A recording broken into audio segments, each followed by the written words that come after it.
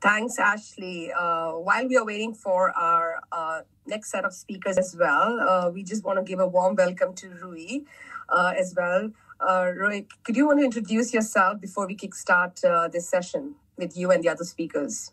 You have an amazing background from China tech and Chinese consumers working with them. Oh, sure. Me, right? Hi. Hi, everyone. I'm Rui, and I am a Chinese American right now, uh, talking to you from Silicon Valley, where I grew up. I also worked in China from 2007 to 2015, where I had the good fortune to meet many of the people in this room. And I continue to be plugged in into China, especially on the technology front, because I'm now running my own company, um, started as a podcast called Tech Buzz China, which is really explaining Chinese tech to uh, US listeners, but actually have a global audience. So anyone who speaks English. And then uh, I have now uh, been able to turn that into a business consulting funds, investors, and operators, anyone who wants to understand more about China tech and learn from it. So really excited to be here today. Thank you for having me. Hi, Roy. Hi, George. Great, great, awesome. Thank you so much. Uh, so as this uh, session is all about consumers, right? And uh, just to set the expectation, we are having the second session from now until 1 p.m. China time. And it's all about Chinese consumers, uh, how the mindset, the behaviors of the Chinese consumers are changing. Is there a thing called a Chinese consumer in the first place? Um, so for the next 20 minutes, so we'll open the discussion with the speakers and their point of view. And then right after that, we'll open the floor with the audience chiming in with their questions and learnings and point of view. Let's try to keep it story based, please, more humanizing real life experiences and not theory. So, just to kickstart, a question I'll actually ask also to Ashley, but also to Brian and uh, Roy as well. Uh, is there a thing like a Chinese consumer? You know, having worked here for 16 years, uh, my, you know, uh, modest observation is not really, there is not like one Chinese consumer.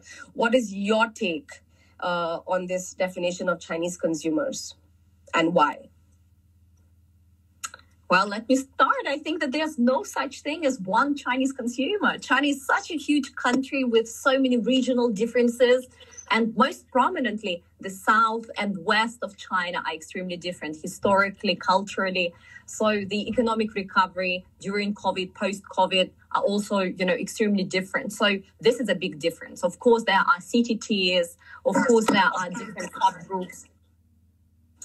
And uh, essentially, when entering China, I think this is the most important decision for businesses to really go and do the deep dive to understand how their who their consumer in China really is, and how to reach them, how to speak with them, what do they want, who are you know other businesses they're purchasing services from. So uh, there's no just one Chinese consumer. There's a lot of stereotypes out there.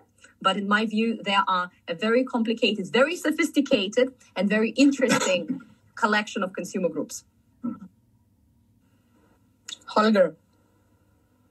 Oh yeah, yeah. Thanks for having me here, Nishtha, and everybody. And um, yeah, I want to build on what Ashley just said. It's very true. You have so many regional or cultural differences in China, and not only that, it's um, it's also evolving into new mindsets that are coming up. So within specific groups, for instance, age groups or demographic groups, um, you have you find so many segments which are characterized by completely different approaches to life or discoveries about life and different mindsets. And um, that is actually something that we feel that um, a lot of brands have um, not been in tune with and really neglected.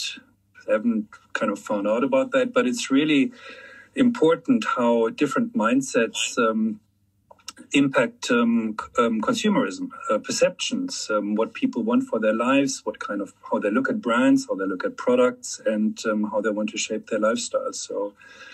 Um, I can share a couple of um, stories here, but you know that's we can, my own. Yeah, we we can come back to that, Holger. But please, could you just give a very quick introduction under a minute? You have over 30 years experience in China, so that's a very interesting background for audience to know.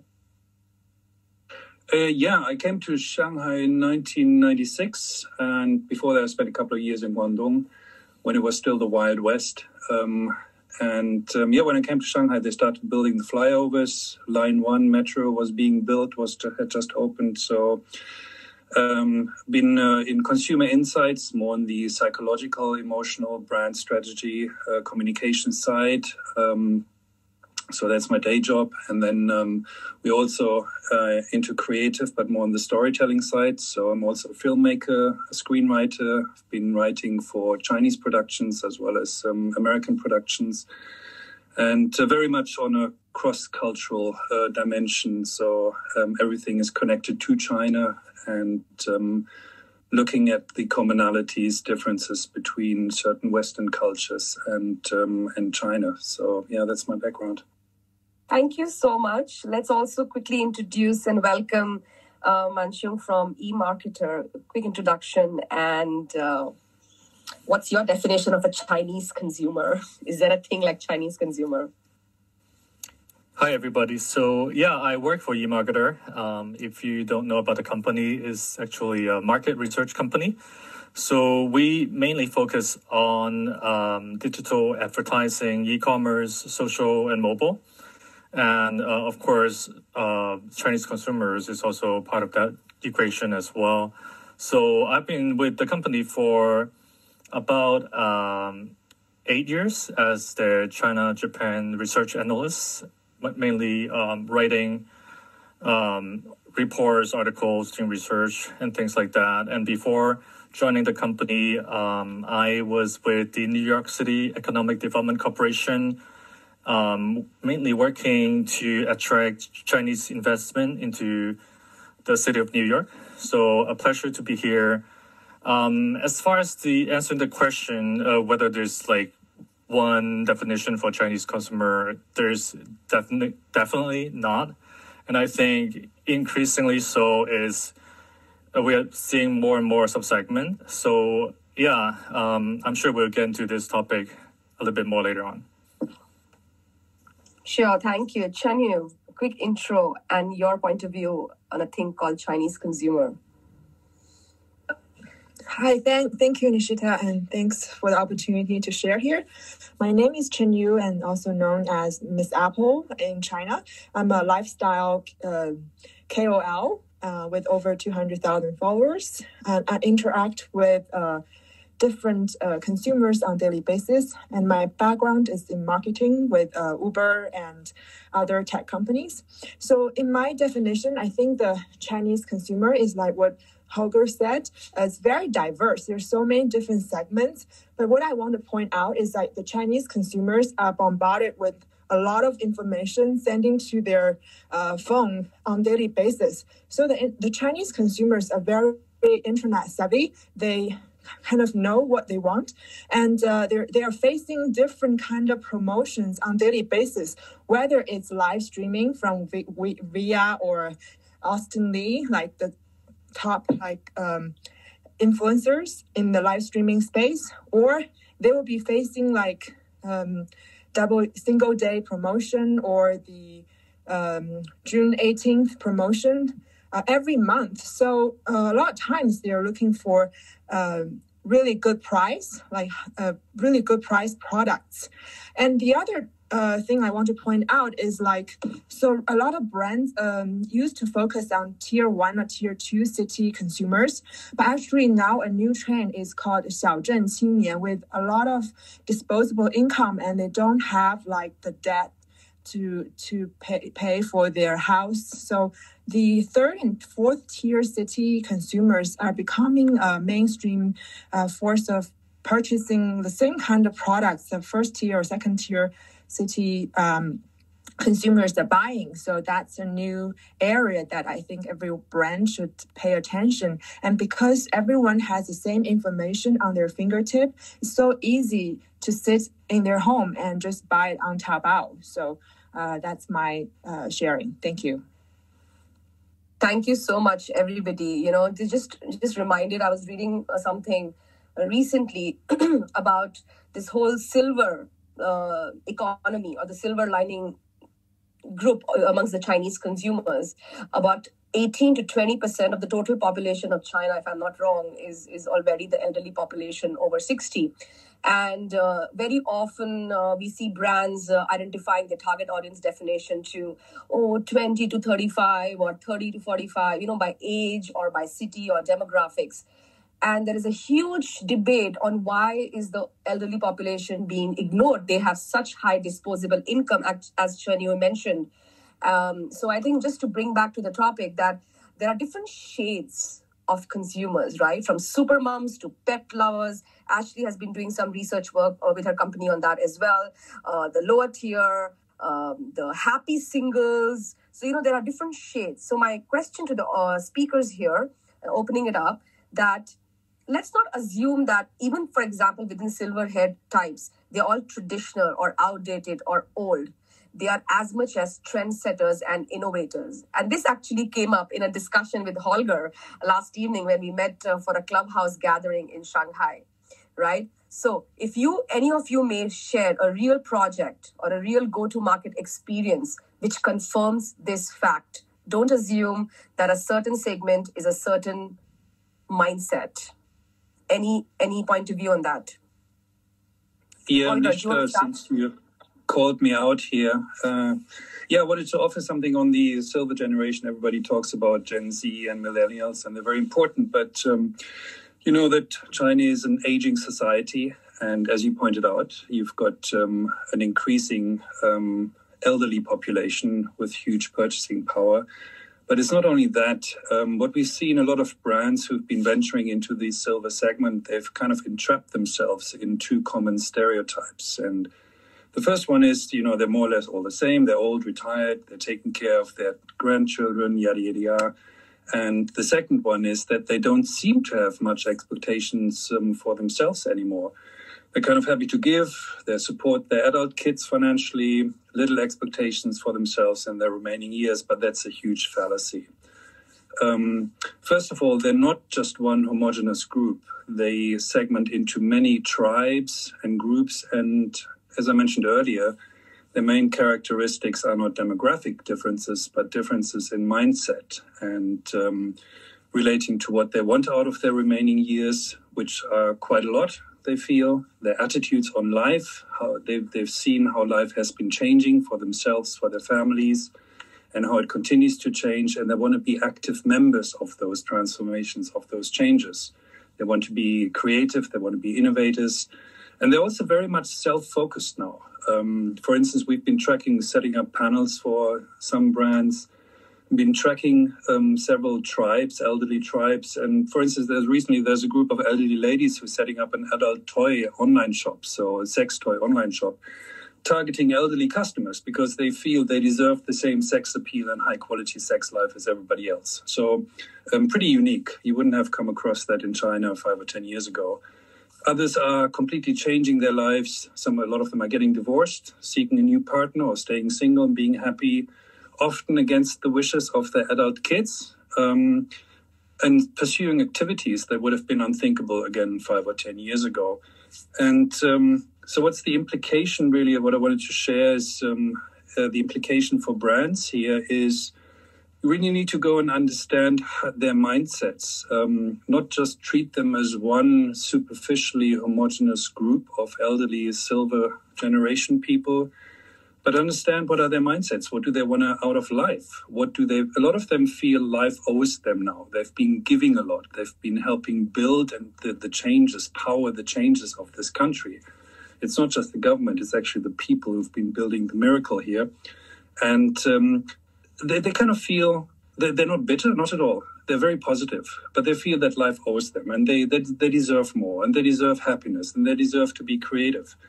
And they don't want to be treated as imbeciles who need to be educated in terms of taste and style and whatever is good for their health and so on. They know that. Um, they want to be treated as creators. They want to be inspired. They want to be given the tools, the mindset, the practical tools to make something even better of their lives to to go and uh, create a new space of life, a new experience. To then also they continue contributing to society, but you know they, they've actually given their share in many ways, Um, but they're really more self focused now. So the implication is treat them as creators, not just as rich consumers who will pass away in a few years' time, but as creators and give them inspiration and empower them in many ways. So that's that's kind of what I wanted to share briefly.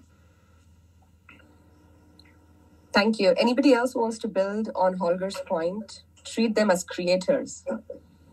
Absolutely. And I uh, would also like to give a couple of examples to illustrate exactly what Holger is talking. For example, you traditionally think of uh, grandparents, especially in the north, again, uh, referring to the north and south of China having very different mindsets, but especially grandparents in the north being very traditional and wanting to basically raise children, grandchildren, etc. But right now we see a growing desire of those above 65 to actually move in together think about a communal house for like two to three families. They're moving in together to the outside of Beijing. So they rent a villa and they essentially uh, get together they cook together they go out together they have hobbies together so many of them uh, let's say if they are gentlemen they actually have a hobby which is photography so they go to the park they hire a model or they uh, take pictures of the birds etc etc and they live in these communal very interesting homes and villas and enjoy the lifestyle before obviously 2020 they would also organize groups and essentially small groups like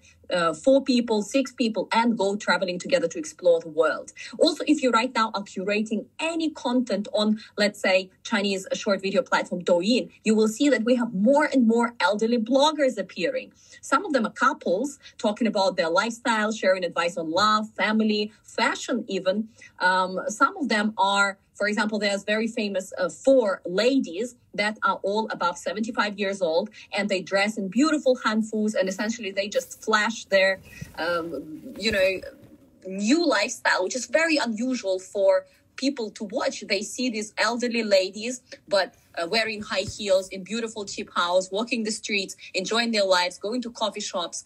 And they very often talk about this contrast, saying that the choice is yours. You can be, you know, dancing in the square and there's nothing wrong with that. Or you can be, you know, living a life that you choose. So that is definitely happening. And that's just to build on a couple of examples of what Holger has just now said. Awesome. You know, of course, uh, for any brands, a lot of people in the audience are mixed, uh, right from US to China to, to some of them from other parts of the world. And a lot of questions come up around brands wanting to enter China as well, or brands who want to create new, you know, innovation within the China market. I mean, we have to stop thinking of uh, just demographics. I mean, that's the key takeaway, and and uh, them as uh, different shades and insights. So, anybody else, maybe Chenyu, you do you want to uh, share any real project or go-to-market experience on the sub segments around, for example, eco-friendly? So, we've spoken about silver economy, silver uh, generation. What about eco-friendly? Because eco-friendly consumers is also a sub segment emerging in China. Uh, sure. Yes, I work with brands like uh, Oatly, the Swedish oatmeal brand, uh, oatmeal drink brand that had exploded in China, China over the last two years, as well as Allbirds, the um, eco-friendly shoe and fashion brand from Silicon Valley, uh, OmniPork, and they do plant-based um, meat, and Everlane, like brands like that. So. Um, uh, I noticed that there is an increasing demand for kind of the sustainability and eco-friendly component. I want to give an example of how Oatly spread it in China. First of all, I think when a foreign brand enters China, it's important to find uh, the right partner. So Oatly um, actually has a joint venture or main uh, investment stake from a, a Chinese uh, conglomerate that owns a lot of supermarkets and as as well as coffee shops in China. So when they first entered in China, they already have shelf spaces in prominent spaces, but that didn't make it popular. So back in 2018. Uh, and in 2019, Oatly has a strategy called a one city, one product. So basically one segment. So the city is Shanghai. The basically, if you live in Shanghai or have visited Shanghai, the amount of coffee shops, specialty coffee shops is just like as prevalent as the yoga studios in Los Angeles. So just give you a kind of vivid example. Um, so uh, Oatly has this barista uh, version, so the gray one, that is perfect for making latte art. Uh, if you have uh, tried Oatly in America or in Europe, normally you get the blue version, not like the um, uh, the gray version that that's for um, basically for barista edition. But in China, they pivoted the strategy. So they make that actually a product itself and you can buy them in coffee shops. And every specialty coffee is like a KOC in their community. They start use Oatly and people try it, ex- experiential marketing. Um, people really liked it and it became kind of um, very popular. So I think uh, the importance be- behind the eco-friendly products is it has to be really, really, really good product first. And when people try it, they fall in love with you first. So if it's just eco-friendly, but it's not very attractive or it doesn't taste or uh, taste very good, it wouldn't last long. And but what really made Oatly take off last year was its collaboration with Starbucks. So the other thing, besides finding the right partner, right investment partner, and also operating collaboration partner, uh, having the right strategy focusing on Shang, uh, at first Shanghai and one product in one segment, the coffee goers. Uh, the more important one uh, to make it more mainstream is finding the right partner with so many distribution channels and stores in China, which is Starbucks. And Starbucks over the years um, has been focusing more on sustainability. They publish uh, actually a coffee booklet about how they work with the farmers in Yunnan, what they are doing in the eth- ethical sourcing, how they are using their um, coffee grounds and making them into products. So Starbucks was already uh, uh, turning towards sustainability and how they tell their story through sustainability. And then they've um, Oatly and OmniPork and Beyond Meat uh, worked with uh, Starbucks last year with a big campaign. If you have Weibo or other China platform, I recommend you look up uh, Starbucks Good for You, Good for the Planet campaign. Good, good campaign. I thought it was one of the most successful sustainability sustainability campaign I've seen. Um, in my own research, they talk, they um, illustrate a very uh, vivid story, just like what Peggy normally tells us about, you know, sharing the future you want to see in so such great detail that everyone wants to follow. Um, and that made Oatly a mainstream product that everyone was trying, willing to try, even in fourth, like third or fourth tier cities. So that's just an example. Thanks so much, Anyway, Is it possible that you can drop that? Example link in any form, no matter Chinese link plus any English link about this case uh, in the group chat, in the WeChat group chat, all where all the audience and the speakers are already in. I think people will really benefit. Yeah. And uh, anybody else, uh, before we move on to the more depth of uh, this space of the consumer, anything you have observed about the sub segments and how you know uh, they are the really the right ones to go and the changing mindsets of these subsegments.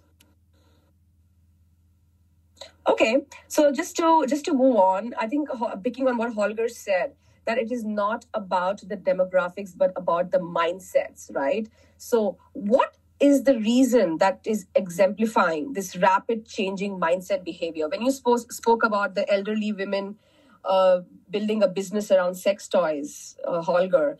What is the psychological or other background which is actually influencing this change rapidly? Yeah, it's um, it's quite a few elements, um, and one is that they feel they have more opportunities. Um, in the past, go back 20 years, 15 years, it was all about um, earning money, getting a good job, um, buying a buying an apartment um, when they were being built here uh, in all the cities. So that was on top of their mind. That was a, um, a dominant um, thought that um, um, drove people through their daily lives. But that's changed. I mean, they've um, they've all got all that. they fulfilled all those needs. And the country, the culture, everything, entertainment, diversity in, in opinion in, in many ways, and others maybe less. Um, they offer a lot more opportunities. Um, that's one thing. And um, naturally, with so much activity in the market, different brands, you've got so many categories, you've got um, so many voices, commercial voices, which give them inspiration of what is possible, who you can be, how you can present yourself, uh, project yourself to the world, to society. Uh, there's a huge difference if you compare today to 10 years ago, 20 years ago, and even earlier, of course. And that gives inspiration that um, it also redirects focus to who do I actually want to be. You know, I've been playing a role. I am supposed to play a role, but I don't really have to do that 24 hours a day in certain parts of life as a wife, as a husband, as as whatever, as whoever in a certain job, I have to. There's, there are certain expectations, and I cannot escape them. But I do have room. There is a lot of space that life allows me, gives me, provides me now, where I can be somebody I really want to be. Sure. Where look and and play uh, different roles, and I think that is a that is a key driver. And so people explore um, who can I be? It's really about self identity. And that in turn changes mindset. And that in turn also changes mindset when it comes to very specific um, life spaces and, and, specific product categories. So you then go into a product category and you, you, you, you're surprised how diverse thinking there uh, um, is in that particular category. So I think that's one of the driving elements. Great. Wanting to play different roles, a sense of self identity what about entrepreneurship? Like, I think somewhere we heard somebody talking about that this whole fact that we can have a second income stream or we can have uh, more recognition. That's also a driver, right? Anybody else in the speakers who want to share um, what are the key drivers for these subsegments uh, for their needs, for their aspirations? Manshu? Or Rui? Yeah, I guess I could kind of speak to this. Um, so I'm just like constantly um, impressed and surprised about how um, the economic growth in, in China brought about the prosperity and also the changes that are brought about by these tech company, these internet company, and now like consumers are really um, benefiting from this technology and you know with the growing income they're looking for like lifestyle upgrades. And we're looking into like things like smartphone control hair dryers dyson vacuums and you know evs and such and such. It's just um, it, it just surprised me how much um, consumer have this kind of yearning for um, high tech products and always seeking out the the latest greatest, um, sexiest products. Um, so that's my point. Yeah.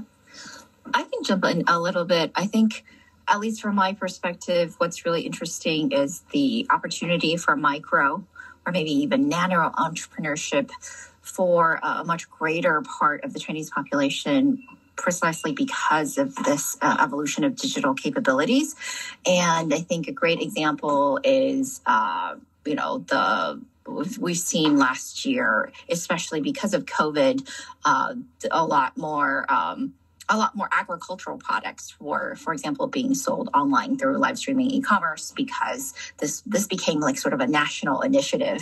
Uh, I, I, don't think it was as successful as maybe everyone thought it was, but I think in overall, I would say it really contributed to um, at least a lot more people being more aware and being more connected to uh, the the real lifestyles um, of some of these uh, farmers, right, or or in some cases it's not necessarily farmers but also artisans um, because they were now it was more democratized and decentralized and they could uh, get an audience and show people what they were working on uh, you know live how they were honing their craft and being able to connect with the audience in a more authentic way.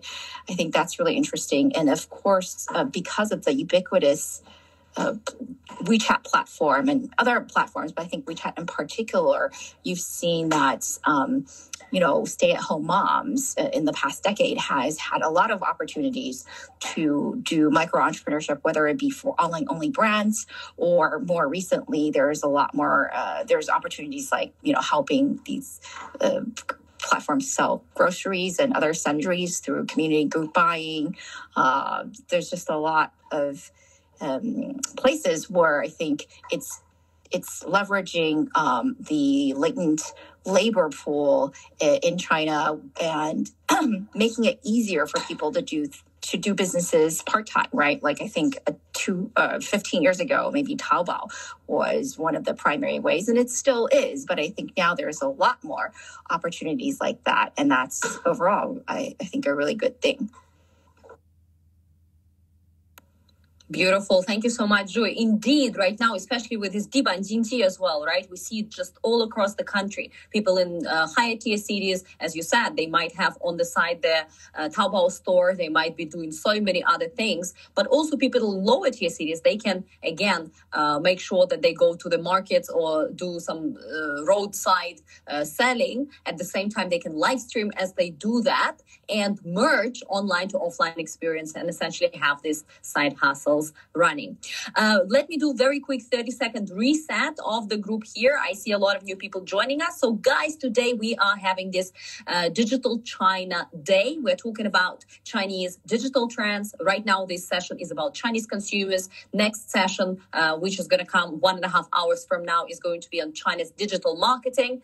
Um, then we have China's e-commerce and new retail. And finally, we're going to wrap up this day with luxury and experiences in China. This is a 12 hour session uh, and we have amazing speakers. So I would like to urge you to follow our incredible speakers on stage right now, along with your our humble moderators as well. So we are all long-term China watchers with hands on the ground, and uh, we have Holger, Rui, Chenyu, Man-Cheung, and Alvin here with us uh, as well.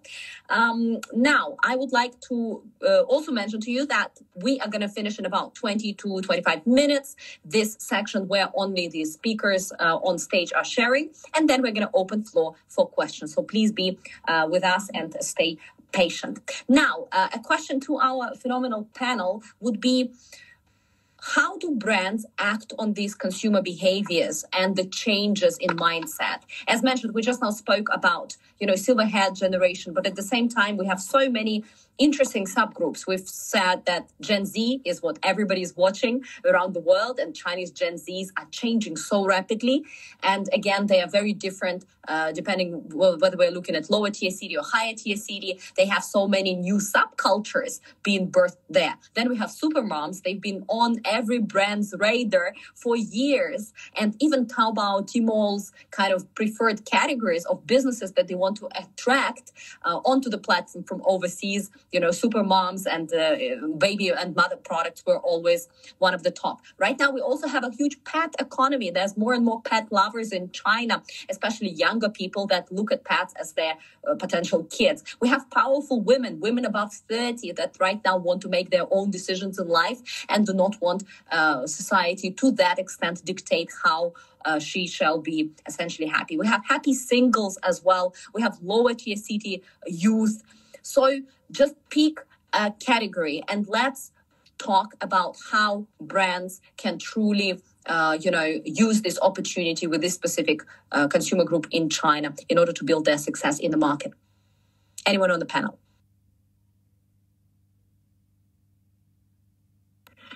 I want to give you an example about a cosmetic brand that was formed actually last year uh, called PMPM.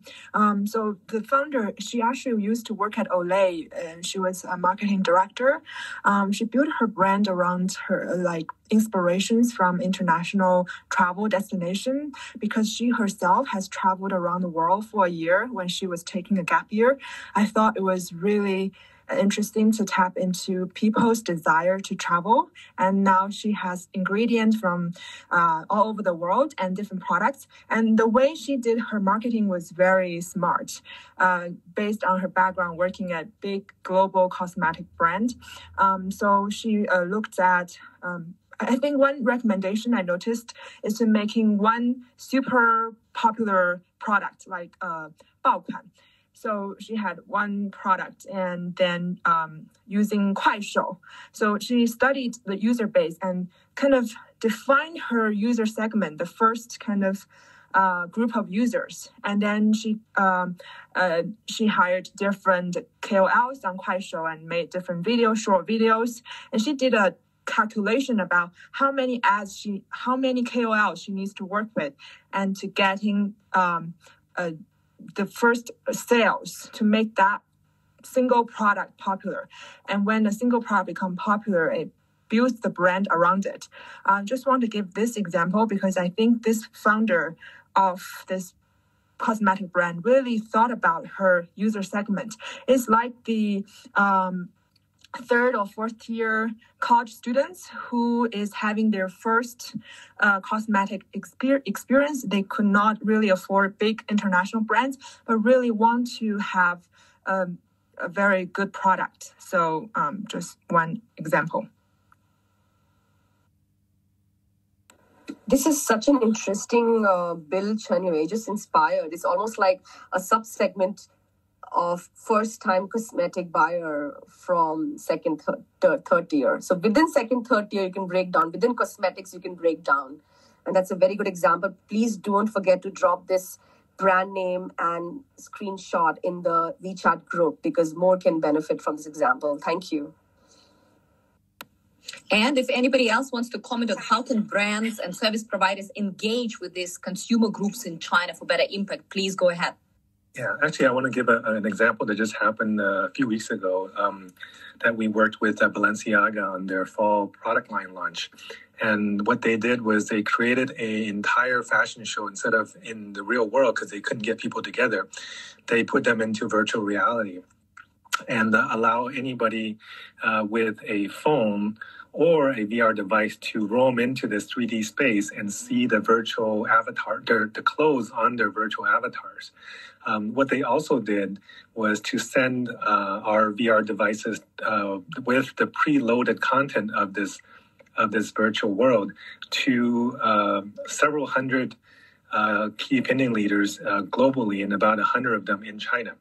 Uh, and this essentially got them coverage in pretty much all of the major fashion magazines, telling, talking about how innovative they were in creating a new uh, a new way for people to experience their brand uh, while avoiding uh, all the physical uh, risks that are in the rest of the world. So that was something that I think is, is actually quite innovative in terms of what's happening in terms of a brand using new technology uh, to both battle the current COVID limitations as well as uh, getting a lot of interest from young people. They got uh, tens of millions of views uh, on on that um, on that uh, fast, virtual fashion show. So just uh, you know, anybody wants to look up, it should be there should be videos of that on on YouTube or on WeChat. great example. In fact, right now, a lot of things are going virtual and marketing as well, uh, looking at all product categories, including luxury. Right now, we have luxury live streams, luxury fashion shows. Um, we have also B2B events, in fact, also running on live streaming, right? When people are meeting in the physical space for expos, and at the same time, uh, half of the time, people are speaking to a live streamed audience. So uh, it's very, very interesting. Definitely check out this example of uh, virtual um, fashion shows. Anybody else? How can brands and service providers engage with Chinese consumers for better impact? Would love to hear your examples. Yeah, so perhaps I can kind of speak to the happy singles that you mentioned. And so the general trend is that people are getting married um, and having babies later in China, especially in the city, whether that's by choice or not. Um, factors including like careers or just simply having more options in life um, and not seeing getting married as the only way in life, right? So we're looking at like people that are actually um, marrying a lot later, um, comparing, you know, uh, 1990 to 2016 data, we're seeing both men and women marrying basically three years later. So um, when they, people choose to have babies, they're also having less baby as well. So um, we last year, I think we saw like the lowest birth rate since 1961 um, a year year decline of uh, thirty uh, percent, but also that has to do with COVID as well. But I, I, think generally speaking, the birth rate has been declining. People marrying a lot later, so we're looking at uh, them having higher discretionary spending. Um, they they most likely gonna look into spending more on entertainment, recreation, and travel as well. And I think, generally speaking, um, with singles, they are more likely to seek out communities, whether that's like online or offline. Um, this could be like interest-based group hobbies, volunteerings, or even for social goods as well. And I think I mentioned before the lifestyle upgrade. So now, so this group has more money.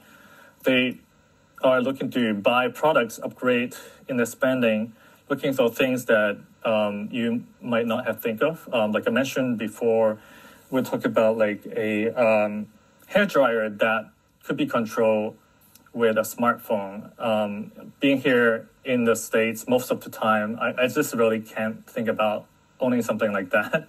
or um, you know, spending on obviously um, EV has been really hard in China, and and I, I believe uh, luxury goods um, but the um, singles are making a, a large portion of the buyers.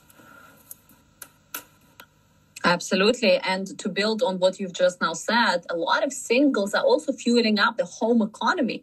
And home economy can be translated in a lot of uh, different scenarios that you can essentially exercise at home, but also in particular the fact that right now decorating your own home and living space is becoming a very big thing. So previously you would move outside of your parents' house or you would actually live with your parents for the longest time. So right now many young people, especially in higher tier cities, um, are moving out, so they have their own space, and they don't just have a shabby little apartment, but they love to decorate it to make sure that they have a corner for stationery if they love stationery, a corner for fitness if they love fitness, a corner for mixing uh, cocktails if they love mixing cocktails, and building it all, all at home. And that is why these small home appliances to make sure that they can, you know, also cook for themselves, but also the cute design is very, very important for them. Uh, this very gentle light that looks like candle light that you put uh, at the bedside uh, of your apartment. Sometimes they can be so expensive. There's there's actually a brand,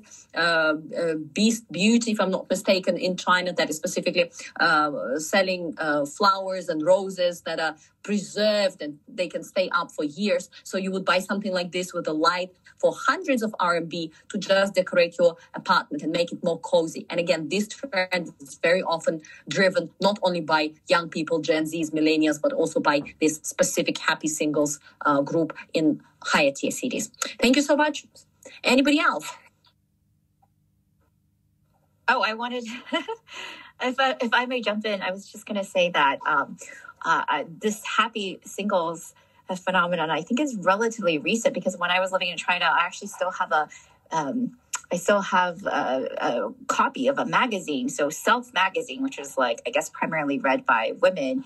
And I remember at the time I had turned, I think, 35, and my friend asked me, or 30 like 34 35 and my friend had asked me if she could feature me for happily single which was which was at the time you know if you were 35 and married was like really really uh, a big deal, even in first tier cities. But I'm happy to see that even in just the last few years, that has changed quite a bit. Um, I see a lot more um, women, especially, talking about uh, you know, pro- like prolonging their singlehood so that they could find, you know, the right partner or just, it, it, or just like not seeking marriage at all if they feel fulfilled by themselves. And I think overall, this is part of a larger trend I see towards focusing on the self and focusing on mental well being instead of being so achievement oriented. And uh, so I actually went and uh, studied psychology after I came back to the States, but uh, I was really interested in seeing the rise of psychology also in, in China because mental health in the past had not been a very big aspect of the culture. Um, it was highly stigmatized. Um, I think prior to 2017, in, in general, like depression was just not even very well understood. And some of the startups I talked to were, they, they saw a lot of need, but it was very hard for them to market.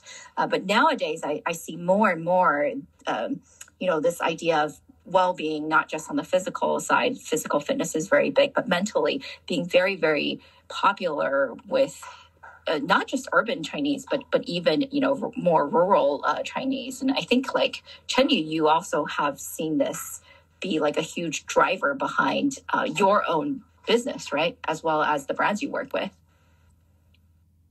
Right, exactly. Um, notice more and more um, women become independent and really want to become themselves. And they buy products that um, reward themselves. Like, mm, maybe because I work with um, a lot of yoga brands, and yoga has become a very well sought after um, lifestyle exercise kind of space. Um, and many people buy a Lululemon become because they not only because it's like something very desirable, it has certain status, but also kind of reward themselves to become better version of themselves. And more and more women um, in late 20s or early 30s um, choose to do more travel to kind of uh, enrich their own experience and uh, waiting to find the right partner. So a lot of my friends in Shanghai, I, I when they come to um, have coffee in, in my um, uh, my my studio, uh, I notice a lot of our single, uh, very talented girls. That's a big trend. So that's why the pets economy is getting so big. Many, many people are raising cats and especially cats in big cities. And some who has more space or time would have dogs. And there are some companies, um, not only the pet food, but also like there's some fashion brands with uh, vet called Vetreska. Um, they do like certain furnitures for the pets. So even any segment in China would have a big user base. Just curious, guys. This is very interesting, Ray and Chenyu, uh, and and um, Holger and Man-Cheung and Alvin. Uh, okay, for a second, if we flip the coin and we assume, okay, for let's say, I don't want to just say IKEA because I don't know exactly how they define their audience, but let's just take an example of IKEA or this pet furniture brand.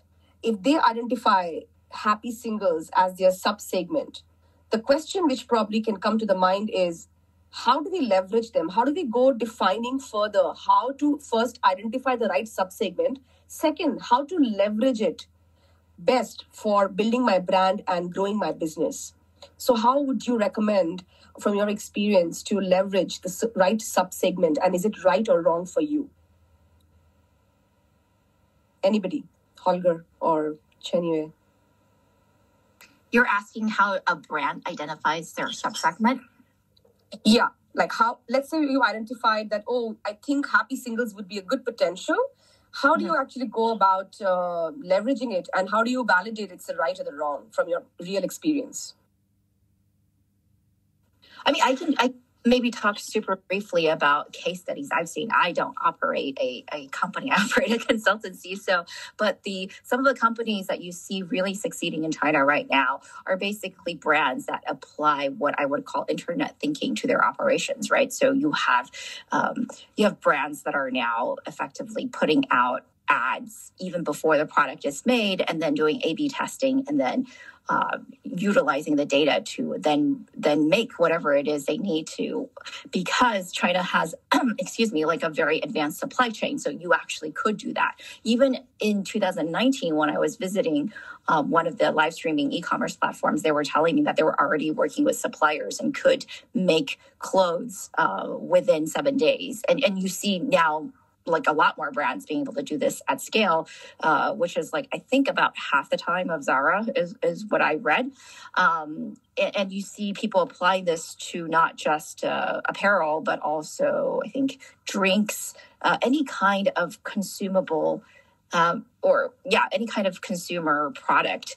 Uh, you, you see people doing this, doing very, very quick um, inter- testing. And then I think a great example of um, someone who really leverages data is Perfect Diary, right, which just went public on the U.S. stock market as Yatsen Group, um, the, the, holding company. And Perfect Diary worked with something like over uh, they they divulged in their prospectus. I think that they worked with over fifteen thousand influencers on Xiaohongshu, uh, which is one of these influencer marketing platforms. And that's so when brands are thinking of who to work with, you might have to be yeah. You shouldn't necessarily think of like oh I'm just have one big campaign, right? It's just like this endless stream of testing, data driven marketing, and then finding the best way to acquire and engage and retain your customers. Adding on to Ray's uh, examples, uh, I, I identified two kind of groups. The first is um, traditional supply side manufacturing. They turned into their own brand. Like there, it was um, luggage and uh, luggage brand. They used to do um, supply chain for Samsonite and many international brands.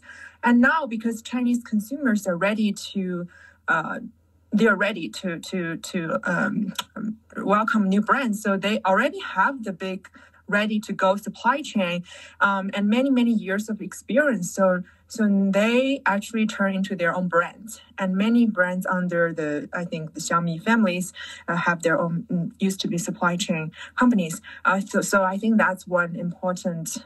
Uh, consideration and the second one is the um, KOL um, have their own brands because as an KOL, you work with many brands and actually you are diluting your um, your uh, your your fans, exposing them to so many brands. And many people, many KOLs would think that I already have the supply chain at my fingertip. I can just go and producing my own brand. Brand, why not having my own brand?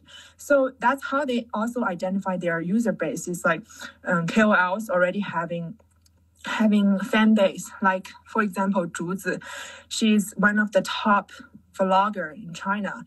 Um, and after making many years of videos, now she has her own fashion brand. So it's a very natural transition.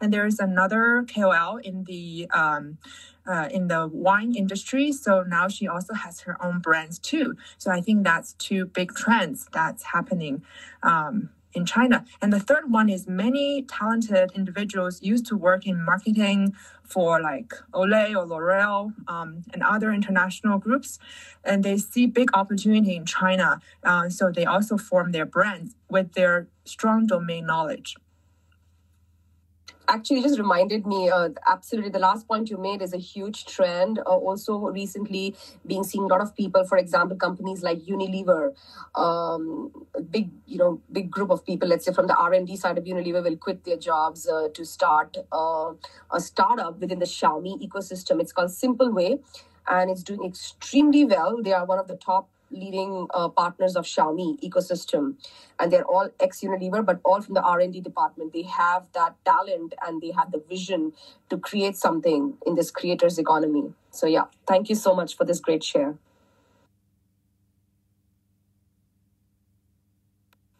Ashley, yeah, Nishtha, to yeah, go ahead. Oh, sorry. All right, just to, to briefly answer your question, you asked how do you understand mindsets? The various techniques. Um, one of the techniques that we use for brands is to um, look at their personal narratives, um, which comes from narrative psychology, and to, to understand um, their internal people's internal conflicts, because those are key drivers.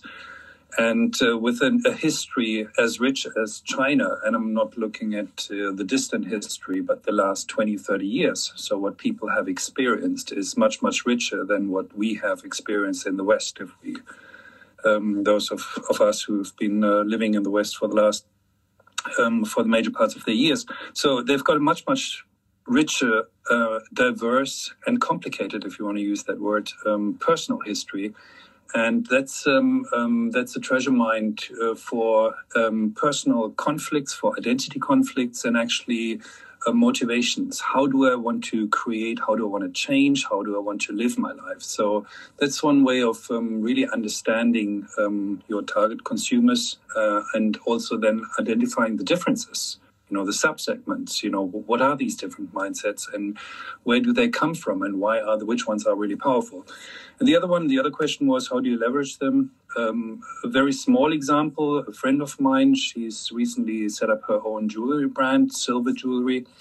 And what she does is she um, she doesn't market them the traditional way, you know, with glossy, um, nice um, photography. Um, that too, but that comes later. She tells stories. She takes um, ancient Chinese fables, um, stories, um, fairy tales, and retells them in uh, adapted to a modern context, and puts them out on her Xiaohongshu account or other accounts and um, which is her Zhongcao technique. So in order to get recommendations to to build a fan base, and what she does then interacting with her fan base with when she identifies certain you know reactions. Um, certain groups she asks them can how do you how does it play out in your life what i'm what i'm talking about here you know some of her themes are um, male chauvinism, a patriarchal society, fairness or the lack of fairness in society, whatever. She she she picks several uh, different um, social topics, um, relevant topics, and then she asks people, "So, how do you contribute? How does how does it apply to your life? Do you want to tell me your story?" And so, people in the comments they they offer their own stories, very small, sometimes longer, and then she processes with their permission, processes them into into another edition, another episode of her story. And um, that kind of gives people a feeling of being included, being talked to. Also, as I mentioned earlier, becoming creators here, in this case, um, storytelling creators. And um, and yeah, and, and um, they obviously discovered what she's um, also doing in terms of what kind of product she's offering in offering and um, how it relates to the content that she offers. So that's just a very, very small example. She just recently launched, and uh, but it's rapidly growing. So that's an interesting example of how to connect emotionally, also, and in an emotionally relevant way, connect with um, consumers. So that's what I wanted to share. Thank you so much, Holger. And that would be great if in our speakers uh, and our attendance room, you would actually uh, drop us her Xiao Hongshu account number so we could all check out uh, her amazing interpretation of traditional Chinese stories. That's a great example. Uh, a very yeah, quick reset. Thank you so much, Holger. A very quick reset. So, uh, for to all of those that are newly joining us, we have our 12-hour session on digital China today, and we're right now in session number uh, two. We're talking about Chinese consumers. This is the time when we open the floor for questions. So we'll have one-hour discussion, not only questions but also your contributions, anything that you would like to essentially add on the topic of Chinese consumers, uh, you know, in 2021. If you would like to ask a question or contribute, please make sure that you go to your profile and you change your bio, the first line in your bio, you put a word question if you have a question, and you can give a few bullet points. What do you want to ask? Or contribution. And you say, contribute, I want to contribute XYZ, and then raise your hand. The moment you raise your hand, I'm going to bring you on stage and we're going to have a great interaction, discussion, and we're looking forward to your commentary right now. I see one person here um, raising the hand, and Gina Cardo, if you would like to just mention to us first whether you have a question or a comment, we're going to bring you on.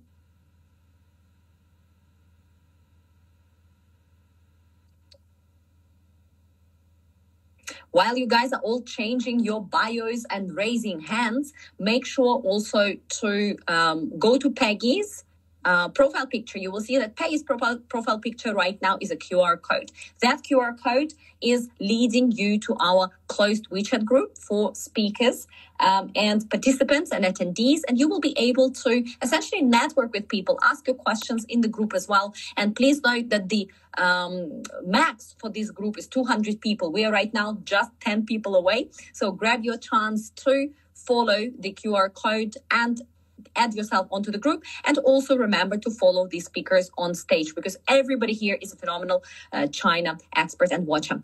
Um, now, Gina Cardo, I hope that I pronounced your name correctly. Please let me know uh, whether you have a question or a comment. Hi, Ashley. Thank you for inviting me today. And I'd like to uh, say good morning and good evening to everyone.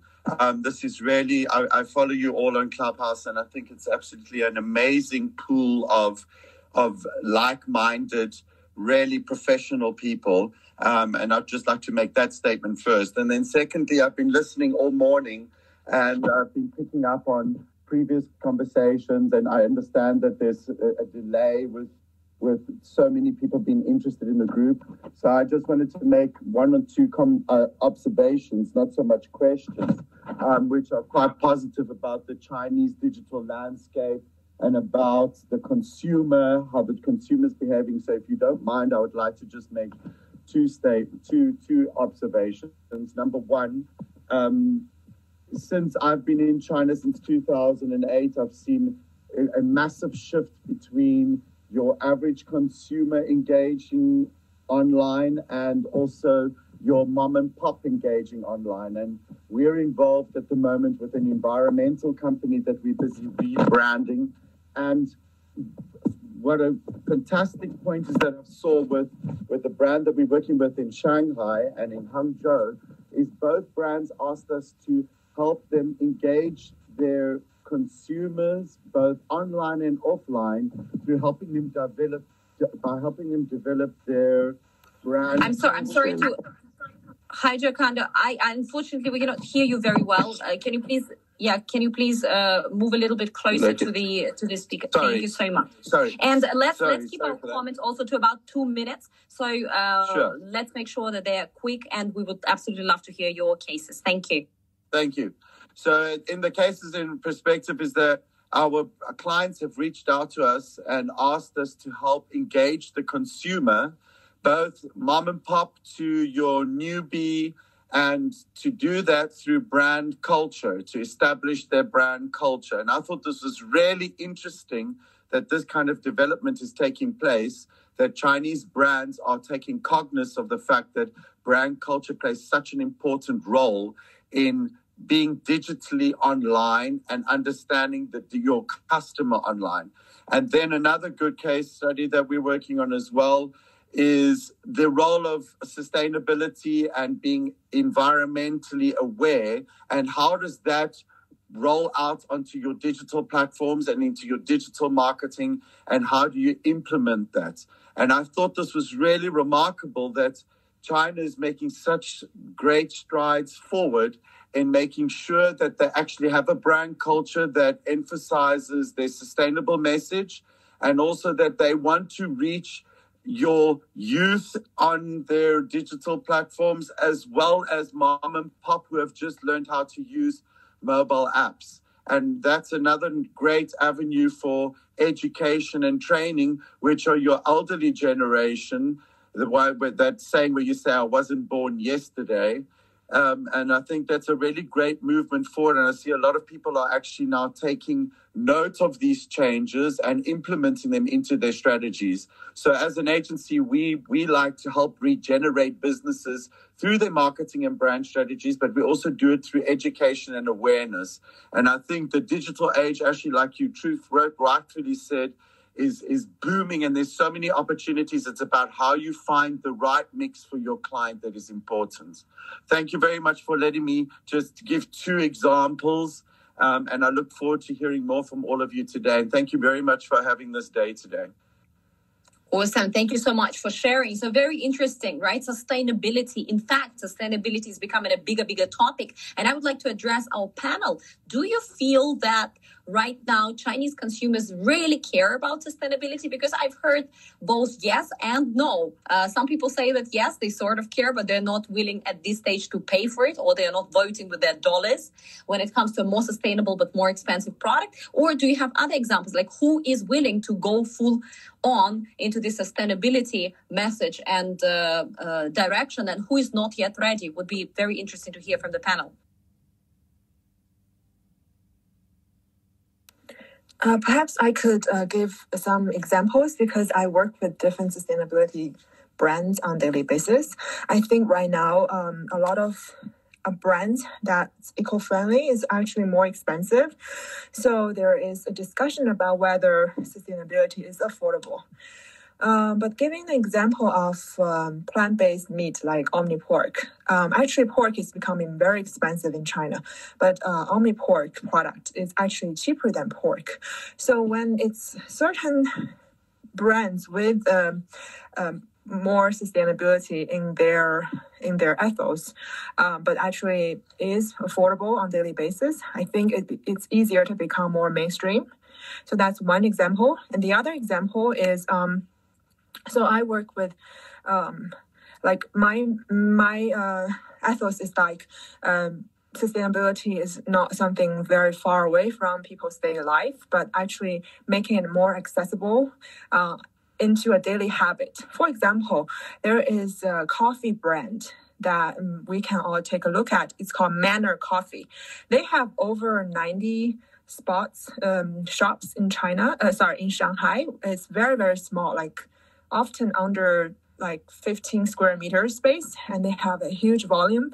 They their uh, slogan is making coffee part of a life. And they're since five years ago they started um, basically you bring your own cup and they give you five RMB off.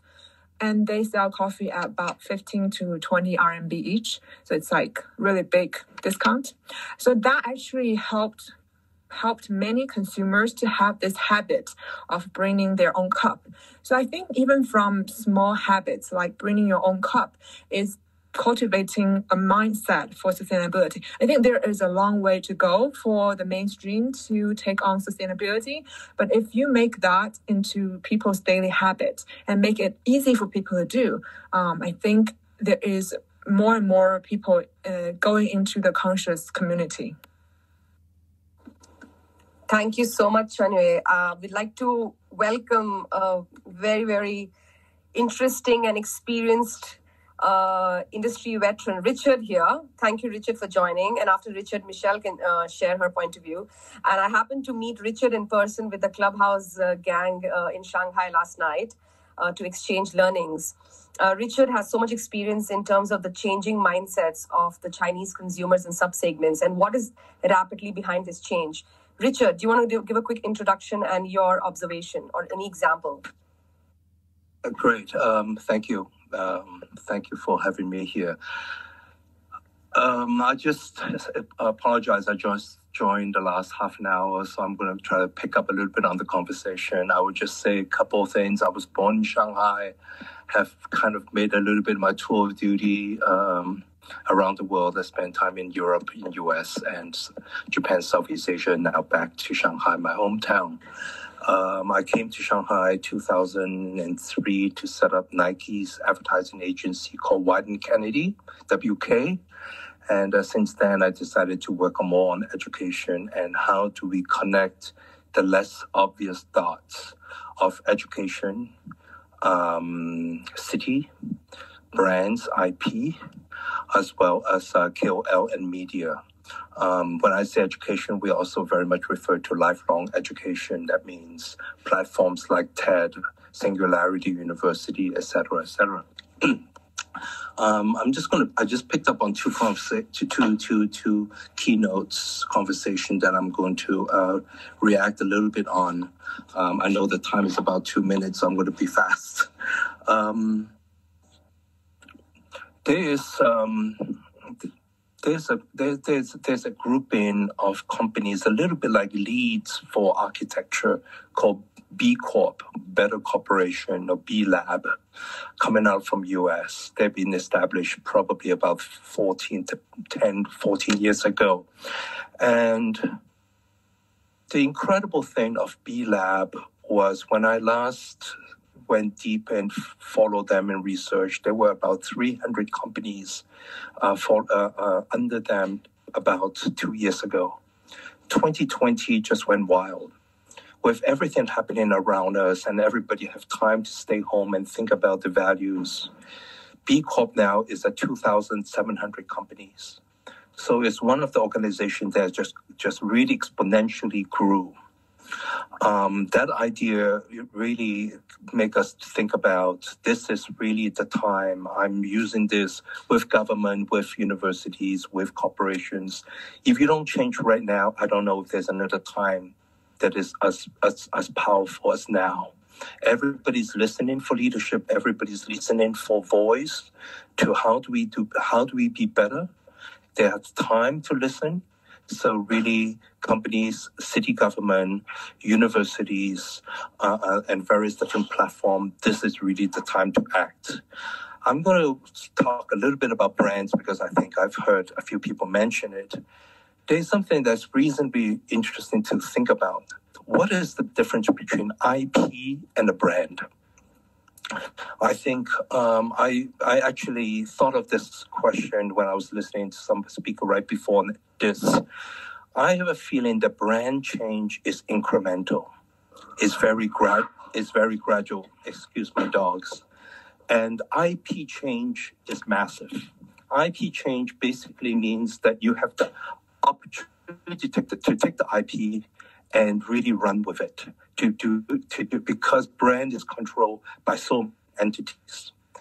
And um, I will share with some of you uh, a project that we that we very hesitantly and and um, with with not much too much confidence um, that we built in Shanghai about 14 months ago. It's called TXY And um, it is 250,000 square feet, 25,000 square meter of space on Huaihai Lu in the center of Shanghai. And um, the, the mandate was given by the Shanghai government to, to say, tell us, study what is the future of commercial real estate, the future of brands, and future of retail. Because they realize how, how can brick and mortar fight and argue with e-commerce? And what is the right formula to bring the two together so we did a one year study of this and we built the project in one year. And um, to our surprise, it has become the second most visited place in Shanghai um, because we have kept it at 22% um, no rental. That means it is entirely based on pop up. And that model, we never knew that it could work because we say how many people will really come in and experiment so we built a very incredible team of advertising agency, graphic designer, KOLs, interior design, and digital digital team to actually crisscross all of this. And as a one-stop shop, we take any brands, Chinese and international, and we can accelerate them in, in for, for them in one week's time. And um, we put a few different formulas in there. We we brought in teamLab as a partner so teamLab is working with a night entertainment group called Master to create uh, one of the most amazing light show um, for, for adults in the evening. And so we take various different IP and we stretch it. IP that is already famous, everybody wants, like teamLab. And we say, what have you not done before? We have not seen you to do anything for adults. You have done it for young young families, uh, immersive digital. Now we have turned it into the one of the top nightclubs in in China. And um, thank you, Richard. Top, I'm going to move on. Okay. I'll pass it on to you. No, that, that that's a good example. I mean, I love your your you know how you put it in words, talking about brands and IPs, and you know what the difference there is. I think that's incredibly valuable. Um, w- let me just bring Michelle on to build on what you've just now said, and also share her insight into the um, you know some of the consumers like plant based and veg tech companies. And uh, yeah, Michelle, um, you're on. Thanks, Ashley. Thanks a lot. Um, and, and great sharing, Richard. Um, I, I, guess I wanted to uh, come up. I, let me just explain. I, I lived in uh, Beijing for two years uh, back in 2004 to 2006. Um, and, and, then after that, moved to Dongguan uh, in southern China um, and was living uh, in Dongguan for about seven, eight years uh, before actually be well, kind of going between Dongguan and Hong Kong. So I've been in Asia since 2004 in the in the China area, um, and I was working on a fashion brand at the time, um, uh, doing uh, footwear, coincidentally um, as well. Um, so I have a lot of branding experience, but now I've kind of done a dive into uh, nutrition and uh, uh, climate change and, and a, a, lot of things around those issues and have been following the plant based movement pretty carefully um, because I'm also working with a startup uh, here in Hong Kong that's focused around doing an alternative protein that's made from uh, microalgae. Um, but I, I kind of wanted to contribute earlier when we were talking a little bit about the plant based movement, um, just talking about some of the brands like where Green Common had just opened up their new shop in, in Shanghai. And, you know, basically the, you know, from, from what I'm seeing in the, in the media, just following it very closely, is that the tables are always booked and um, people really like this healthy style of eating. And I think the China government has also, back in 2016, uh, made a effort to kind of say we're, we're eating too much meat and it's not sustainable. So, you know, within the alternative protein space, there have been a lot of companies that have uh, opened up within China, um, from Zhenmeat in, in Beijing to Haofood and Hero Protein. Um, Meat is another one. So there's there's quite a few brands that are coming into this space, trying to um, you know provide a solution to to people eating you know more healthy for one, and also more responsibly for the environment. Because I think that uh, the the China government is really seeing that it could be a crisis into the future where there's maybe not enough food from the traditional sources and also from resources uh, destroying the environment. They want to get you know ahead of that curve. I think. Absolutely. So, if anybody uh, on the panel has any additional insights or wants to build on something Richard Michelle just now said, please go ahead. And if not, we are moving on to Ryan. I just brought Ryan on stage, who's got 350,000 followers on TikTok. Ryan, do you have a question or would you like to share? Hi, uh, I do have a question, but I just popped in, so it's I don't know if it's exactly what you're talking about, but it is I think about a, a tech trend going on in China right now. Is that okay if I ask it? I'm not sure if you guys have a absolutely. Go ahead. Go ahead. Okay, cool. So um, I love China. I um, own a skincare brand, and I do so much work with partners in China for packaging and things like that. And I just like love learning about the tech that they use. Even just like I think WeChat is so cool. I wish that it was like bigger here in North America. Um, I'm from Canada. Um, there's an app that I've seen in China being used in China. I don't know what it's called, but it's the one where you can basically watch people sell products and it's almost like TikTok. And they're sort of like live selling products and you can listen to them give their pitch and you can just like swipe through. Does anybody know the app that I'm talking about? There's several ones. You might be thinking of Kuaishou. Okay, yeah, I don't know the name of it, but um, it looked, it just looks so cool, and I just wanted to get your thoughts on if you think that kind of technology is like appropriate for North American markets, if you guys foresee that coming to North America as a popular app, because when I see it as a brand owner, I'm like, oh my God, I wish that that's something that people in North America used. I wish we had it here because I would love to be on there, you know, pushing my product. So I just wanted to get your thoughts on that.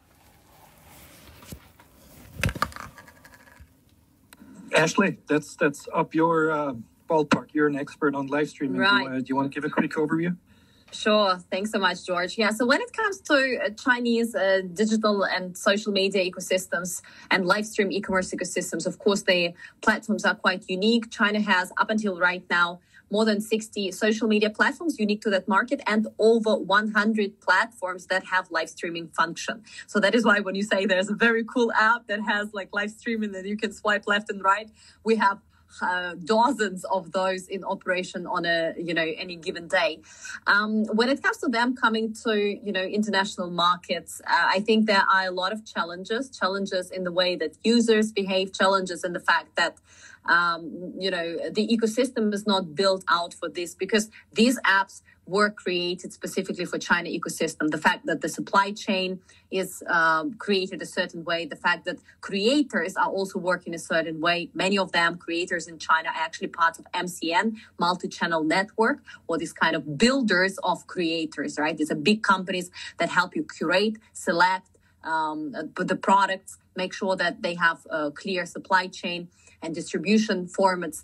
And uh, creators essentially are supported by teams to make sure that they do uh, content creation well. So um, I wouldn't be. I, I, I mean, obviously, tech companies in China are looking into going global, and we've seen, you know, TikTok uh, going international, uh, etc. However, I don't see, you know, smaller companies immediately expanding into overseas markets. And also, when Chinese tech giants that are planning to expand into into outside of China, they primarily start with places like Southeast Asia, Africa, Russian speaking world and Latin America rather than going, as you said, North America and Europe because of, again, uh, ecosystem, just the readiness of consumers and also some technology uh, slash privacy issues that are not easily resolved. So this is just a very, very quick overview of what's going on. And I'm sure that Nishtha has uh, a couple of other pointers that she might give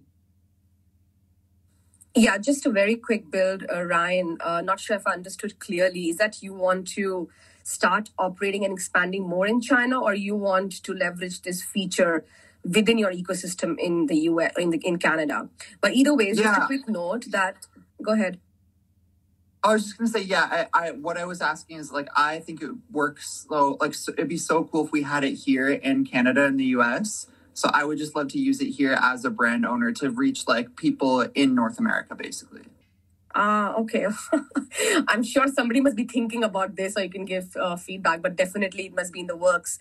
Uh, but just a quick note for anybody who might be interested that foreigners are not allowed, uh, in terms of the legal identity of being having a foreign passport, not directly allowed to live stream in China unless they partner up uh, with a local KOL or you know build their brand. So I think just linking back to a great um, insight being shared earlier by Holger and team is storytelling and narratives. If uh, somebody wants to get into live streaming, the best way is not to jump directly into live streaming if you're a new brand or a new upcoming brand. It's mostly to build your narrative and storytelling for that market, starting with a certain platform. So go small but go deep. That's the learning we've got. So we can probably have a reset of a room, Ashley, and then uh, do the last 30 minutes Q&A before we move on to more digital marketing section. Absolutely, absolutely. Well, thank you so much, uh, Richard, Michelle, Ryan, for joining us on stage here. Um, now, uh, we have a couple of new people joining us, so let me reset. Today, we're talking about digital China, and we have started this day. It is a 12 hour marathon that we started at 9 a.m. China time, and we're going to finish 9 p.m. China time today. We, are, we have already spoken about Chinese technology, innovation, and digital lifestyle. Right now, we are in our second session talking about Chinese consumers. Um, the next session coming up in 30 minutes will be on China's digital marketing, where we're going to do a deep dive into the platforms, content, bloggers, live, uh, live streaming, etc., etc. Then we're going to move on uh, into the next session for three hours together with George, uh, talking about e-commerce in China and, of course, China's new retail. Yay! And the final session for today, uh, between 7 p.m. and 9 p.m. China time, is going to be about China's luxury, consumers, innovation, works, etc. And of course, not only luxury products, but also luxury experiences. So this is our plan for today. And let me remind you guys to follow everybody on stage because we brought you an amazing selection of China experts. Rui, Holger, Man-Cheung, uh, Chenyu, phenomenal, phenomenal experts. Definitely do follow your humble uh, servants for today and your moderators, Nishtha, George, Peggy are absolutely, absolutely amazing. If you would like to join, um, uh, and basically ask us questions, join us here on stage and ask us questions or contribute to the discussion. Right now, we're talking about Chinese consumers. Raise your hand. And uh, if you would like to contribute, make sure that your bio says contribute on top. If you would like to ask a question, just write question on top. Shall we? Shall we continue, Ashley? Absolutely, So why Michelle. you- And I, I just went silent and realized I'm silent. I'm, I'm checking people's profiles. They're, they're raising hands. no worries, no worries. In some parts of the world, it's midnight. Some parts of the world, it's still early morning, and here in Shan- in China, it's like lunchtime. So people can grab their coffee and meal while they're listening to this as well. Just the last uh, thirty minutes, we want to get into more actionable takeaway insights or actions which can uh, benefit everybody here in the room. So, in terms of consumers, we've discussed about subsegments, the drivers, the examples. Now, the key question here on the table is how can brands or service providers engage these subsegments better? You know, so we know the triggers and the and the drivers, but how? What are the one or two tip for brands and service providers to engage these subsegments better? So, one example again came come to my mind when when Holger said about uh, leveraging their creativity. That is one thing. Don't assume they are just there to be advertised to, to talk down to, or talked at to. How do we engage them as co creators, creative partners? That's one way. Any others? Hi, um, I wanted to share some practical um, practical tips. If you have a brand, and then if, if you want to test your product to see which segment really suits you, I think a very good channel is uh, Xiaohongshu, the red little the little red book, uh, which is like the Instagram. For those who are not familiar, it's like the Instagram plus Pinterest in China. Very very very popular. Many many brands are using that. Um, perhaps working with KOCs with uh, fans. For example, you, you are testing two dom- uh, two segments of users. You can find suitable KOCs by um, examining their followers and their posts and their engagement, and then you can do a product exchange for a post. So that's a low cost way to getting your product into the market and see which ones actually have conversions and then maybe it helps you to gauge the next level of kind of marketing and branding uh, uh, allocation. Beautiful. Thank you so much. And right now we have Ted uh, from the audience who's got a question to the panel. Ted. Hi, thanks for having me up. Um, I'm just curious how, if at all, um, are um, how are Chinese consumers in urban centers like Shanghai and Beijing and other large cities, how are they marketed to differently than those in uh, more rural areas, or is there a difference? And how is the migration that continues into the urban centers? How is that changing um, not only consumers but how they're viewed at by uh, by brands and companies? Beautiful question. Anybody on the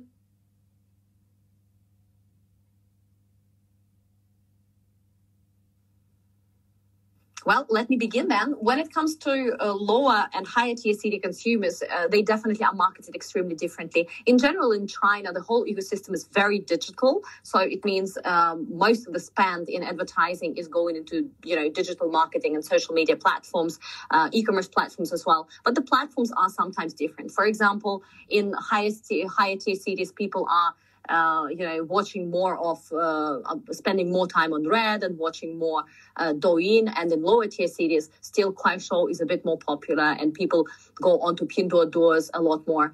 Uh, right now, for example, in higher tier cities, a very important and uh, interesting way to promote is to actually put your physical product in the uh, pickup locker. So there are those lockers all across China where you're ordering something from, from for instance, uh, Taobao, and the, it's in your community. There's a big locker where your parcel has been dropped uh, off. So uh, you can promote by putting a QR code on the locker and also so basically when the person scans the qr code to retrieve their parcel they open it they see a pop-up window with your advertising and they also get the little sample of whatever you want to offer them um, as the food etc etc so in first tier cities that's very big right now because you can target specifically a very specific neighborhood where people live um, and it can be a luxurious estate and you are uh, with very high chance it's going to reach uh, super super cool people. In lower tier cities we also see a lot of banner advertising. We definitely see a lot of uh, gaming going on and different types of games. We see that people in lower tier cities in general, again, this is a lot of generalizations, but they have a lot more time um, and they get online a bit earlier. In first tier cities, people get online at about 9 uh, to 10 p.m. Um, as one of their most active times. And they have this um, nighttime economy where everybody stays up until 1 or 2 o'clock in the morning. And in fact, some of the most effective advertising times especially for younger people that are working in, you know, white collar environments, is, you know, uh, evening from about 9 p.m. to about 1 a.m. But when it comes to lower tier cities, people generally have a bit less uh, pressure and a bit more time. So you can advertise to them and market to them in very different environments. Another interesting point is that across China, and that might come counterintuitive, but giving out physical brochures actually works. So standing next to, I don't know, a coffee shop and giving out brochures with QR codes and saying, hey guys, come in, and all that actually does work. So that is happening in both higher and lower tier cities. So I hope that sets a little bit of stage on you know what happens uh, with different types of consumers. Ted, if you have more question uh, or anybody on the panel wants to contribute, please unmute yourself and speak. Yeah, Ashley, there was an important point uh, about the brochures, the physical world. Not everything is digital. Um, there's a lot of good examples as to how what is traditionally called below the line um, works. So events. Um, certain activities, games, anything that involves people physically, mentally, spiritually. And it doesn't have to be digital only. Uh, in fact, the two should go hand in hand. Um, a lot of brands who've done that um, have seen tremendous impact on uh, on, on on their target customers, um, the the emotional involvement, the perception then of the brand, and and at the end of the day, what's most important, the perceived relevance of the brand to individual lives. So I think that was an important point there. It just reminded me just uh, three days ago, um, series of people, you know, uh, got a box from Tumi, Tumi, uh, the the carrier bags and, and suitcases brand, right? We all know that. And it was a combination of uh, traditional direct marketing big box along with digital interactive QR code in the box. And everybody was posting on WeChat, including myself. I received it and it just hit the nail uh, that digital does not mean only digital. It needs to be a combination of physical and digital. And uh, direct marketing is being reinvented as we speak now in China. So that's a very good reminder. Thank you. Thank you so much. Beautiful. Uh, I have also brought, and Ted, have we answered your question? Yes, thank you. That was great. Thank you. So now I have Alice on stage here with us. Alice, what is your question? Oh, okay, let me introduce myself a little bit. I'm doing digital marketing and I have my uh, creator uh, social media platform uh, for startup. Uh, I, I'm doing this research for a long time. Um, so I do like to talk to you guys because as you guys uh, talk about marketing issue, but my English not very good. Maybe some, you know, whenever I cannot explain very good, maybe someone can help. No worries. No, no problem at all. okay. Yeah, I have some kind of, uh, you know, pain for the English trans- translation.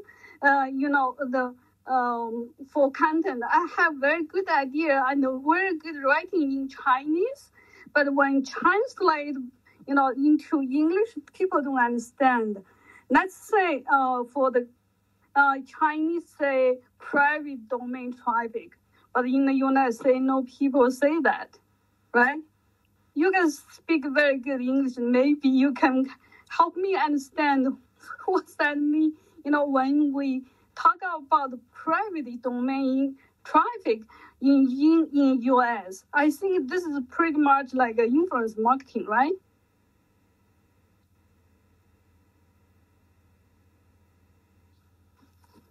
So no more, nobody understands when I yeah, talk. Alice, can, can you can you uh, just uh, once again uh, explain it to me, just very very briefly? Let me listen into this. Okay, when Chinese say um, private domain line, uh, domain traffic is about 私域流量. Yes, yes, yes. Private traffic. Uh huh. Yeah, but in United States, when we try and translate, there is no words, you know, can exactly Yes, but we, we call it private traffic. So within the China digital marketing community abroad, then we're using term private traffic. So building your own private traffic. And if you're talking about the person that is managing that community, we can say that uh, it, can be your homegrown, like your brand KOC, key opinion consumer. At the same time, KOC, key opinion consumer, can also be a base of consumers that are really fond of your product and are basically promoting on your behalf. So that's where the confusing part comes in with KOC. And but the group of people who you can reach without paying to the platform for advertising, this is called private traffic group. Okay, okay, yeah, I got it. Because um, you know, when I wrote in Chinese, I got someone translate. They just say private domain traffic, so that people don't understand it. This is I- not the, this is not right, right? Right. So saying private traffic, I believe within the proper circles is the right term to use at this stage. Yes. Okay, so uh, I I'm always looking for a good English content writing. I don't know who can help. I have a very good, you know, idea for my platform. Connect business and marketers means business in this platform uh, provide their, you know, um, information and also brand and brand cover and also create the offer and uh, the marketers just show their profile like, like a LinkedIn, like a like um, Fiverr or something like that. you know, like how many so you know, like information about social handles and the audience size, something like that. And, Right. um, Right, Alice. Um, that would be great if you would, uh, if you look above. There is Peggy, uh, who is one of our moderators, and you will see that uh, her profile picture was changed to the QR code. This is a QR code for attendees of this session, and I'm sure you can drop an introduction about you know yourself and what you're trying to achieve with the uh, English language partner. Um, uh, you know, um, and I'm sure there would be people that might potentially um, be interested in collaboration. So you can uh, you can join that group and uh, message us on who you exactly you're looking, and uh, other interested people will connect with you. I hope that this it's will be helpful. full. It's already full. I tried. Two hundred people already.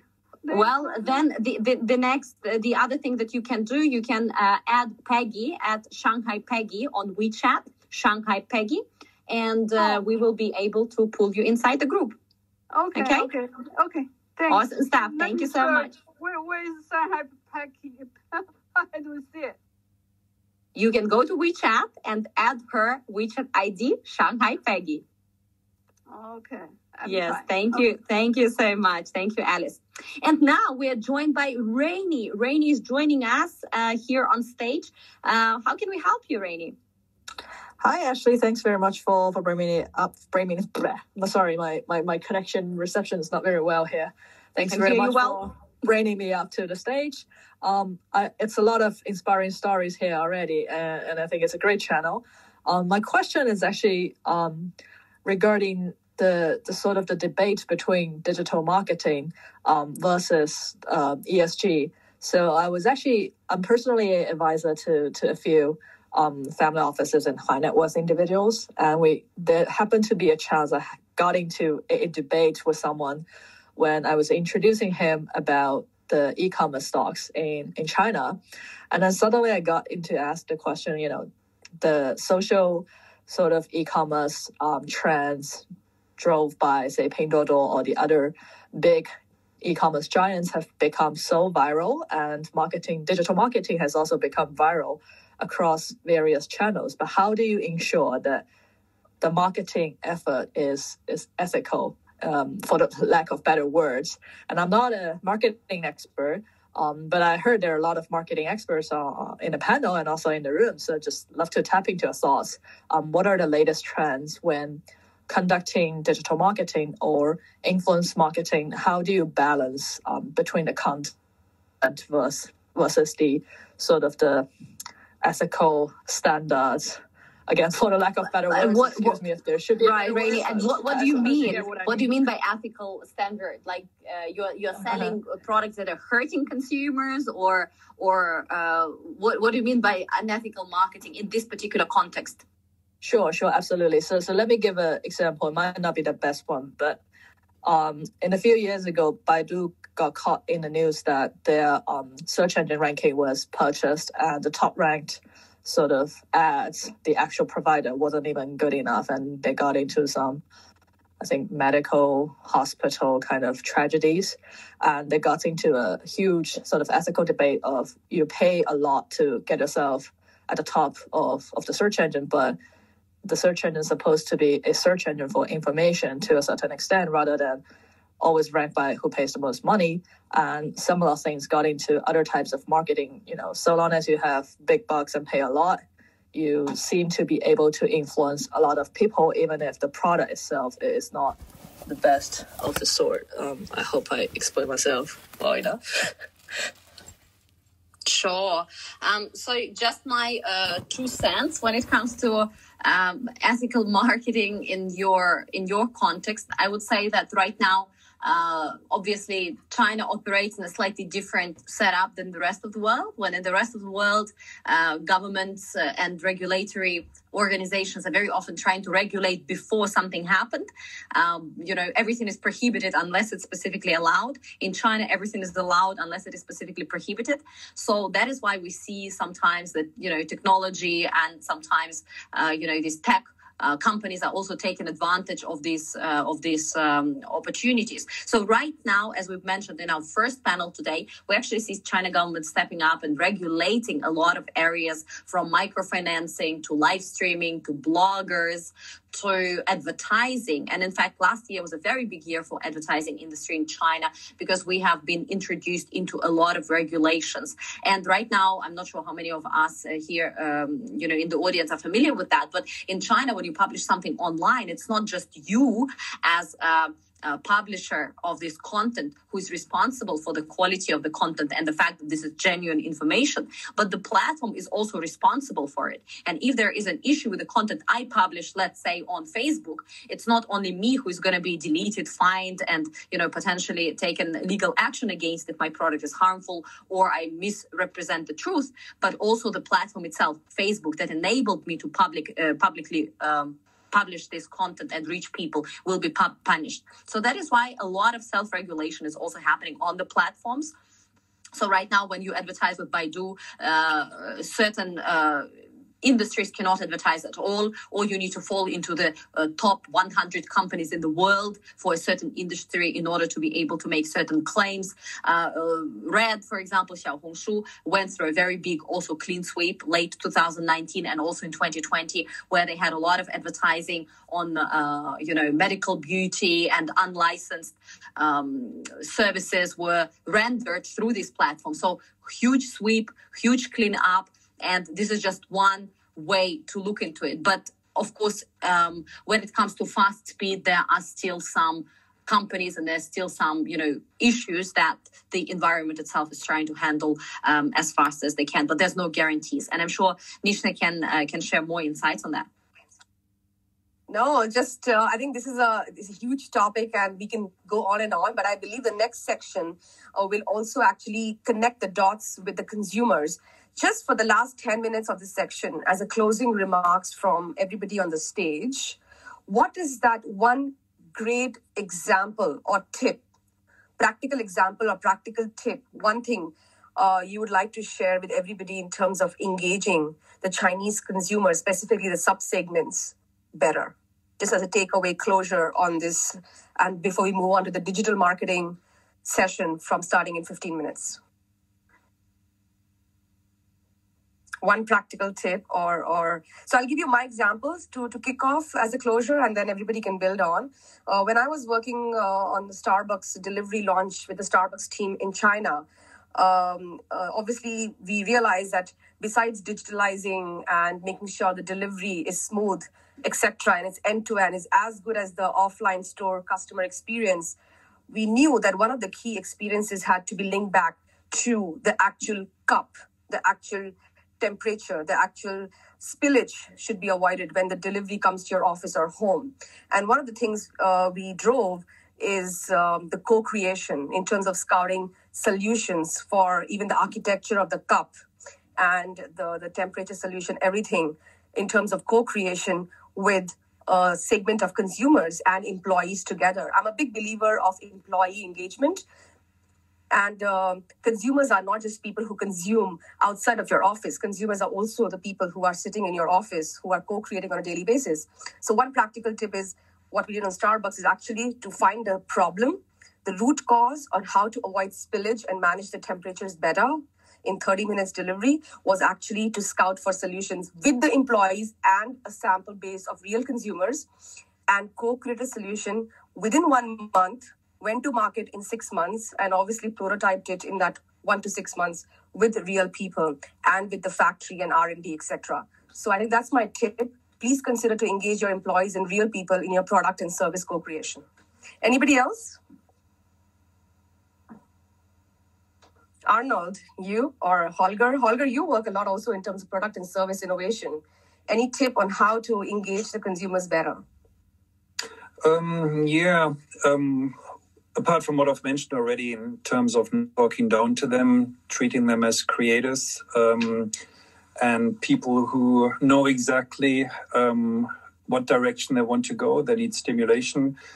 But another thing is um, um brand loyalty. For a lot of people, a lot of friends have been complaining that brand loyalty has been uh, um, disappearing um, which is not due to the consumer. It's due to the way a lot of brands communicate, position themselves, and interact with the consumer. Um, most of them are using cookie cutter uh, approaches, um, which then obviously doesn't help in terms of um, um, addressing the consumer in a in a way that feels relevant. So I think, um, as we mentioned at the beginning of this panel, um, you need to understand specific subgroups, subsegments, mindsets, and then try and connect with those mindsets and interact with the consumer in a more co-creative way.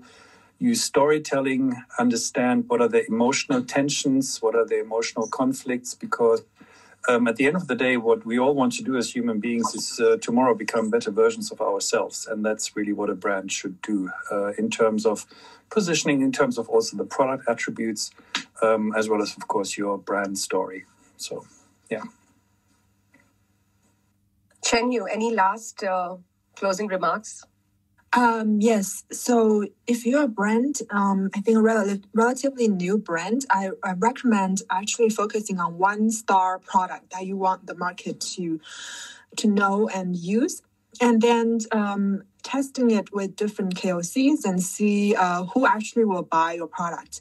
And when you're actually ready to launch a campaign, would have uh, actually carefully design a, a, campaign with the storytelling line, as well as um, a big KOL, one or two top tier KOL who actually can um, be like the um, advocating for your brand, and then uh, many KOCs who have followers. So you really build um, a campaign around it. So then first you test your your product with different in, influencers and their users, and then actually when you're ready to launch a campaign, um, do some um, calculation as well with the data, um, and then making one product really uh, popular.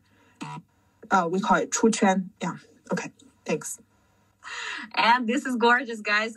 Thank you so much again for being with us today. And this goes to all the phenomenal panelists that are on stage right now.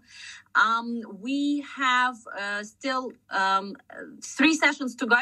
We have digital marketing session that is starting right now. Then we have our e-commerce and new retail session that is coming up three hours later. And then, of course, we're going to wrap up this 12 hour marathon with a luxury and experiences in China.